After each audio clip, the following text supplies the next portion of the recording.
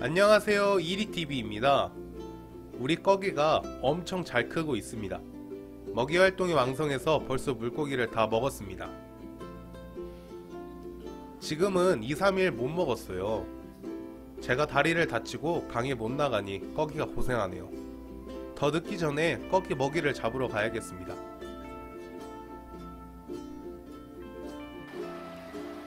꺼기 먹이 어떻게 잡는지 궁금해 하시는 분들이 많습니다 오늘 작은 물고기 잡는 방법도 같이 살펴보죠.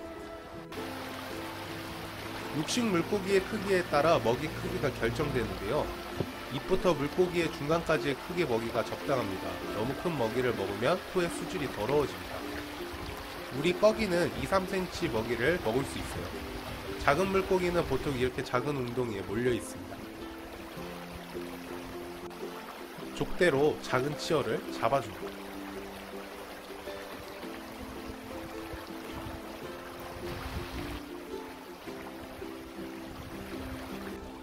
또 다른 방법은 발로 흙물을 만들어 작은 치어를 유인합니다. 흙에는 작은 곤충, 고유물 같은 게 있어서 치어가 좋아해요. 치어가 모이면 족대로 잡아줍니다. 하루에 두세 마리를 먹는데요. 보통 7일간 먹을 수 있는 양만큼만 잡아옵니다. 작은 갈견이와 미꾸라지 한 마리를 잡았습니다. 오늘은 꺽지 사냥 영상도 찍어보려고 합니다. 이 영상이 꺽지 낚시하시는 분들에게 도움이 되었으면 합니다. 잡아온 물고기를 넣어주고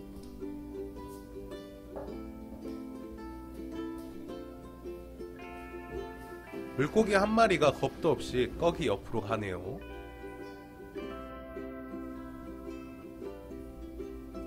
아직 꺼기가 눈치 못 채고 있는 것 같습니다. 먹이를 확인하고 사냥 준비를 하네요.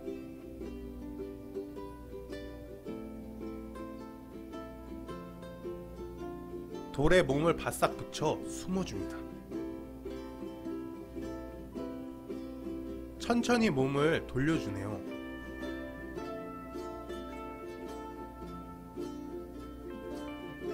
꺼기가 사냥 준비가 끝난 것 같습니다. 물고기들은 육식 물고기를 알아보기 때문에 멀리 떨어져 있습니다. 방심하고 접근하는 물고기를 공략할 것 같네요. 방심한 물고기가 꺼기 집 근처로 지나갑니다. 오! 오! 실패! 물고기들은 시야가 넓습니다. 좌우 정면 위까지 볼 수 있습니다. 물고기는 밑에가 가장 취약합니다. 우리 꺼기 다음 행동을 잘 봐주세요. 집 주변에서 위쪽을 보고 있습니다. 눈치 빠른 물고기가 피해버리네요. 꺼기가 다시 시도합니다. 오. 오.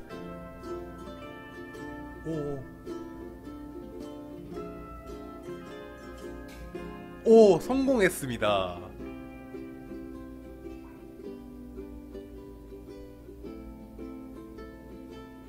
한 입에 꿀꺽 해버리네요.